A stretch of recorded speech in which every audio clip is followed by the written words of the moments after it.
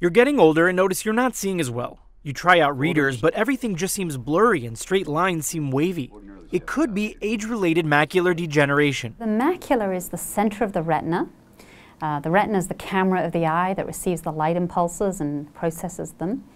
And the macula is responsible for the really fine visual acuity, the very precise vision. Dr. Sophie Bakri, a Mayo Clinic retina specialist, says there are two kinds of macular degeneration wet and dry. The dry kind usually uh, comes on first, and when we look in the retina of the dry kind, we see these little rock like deposits under the retina.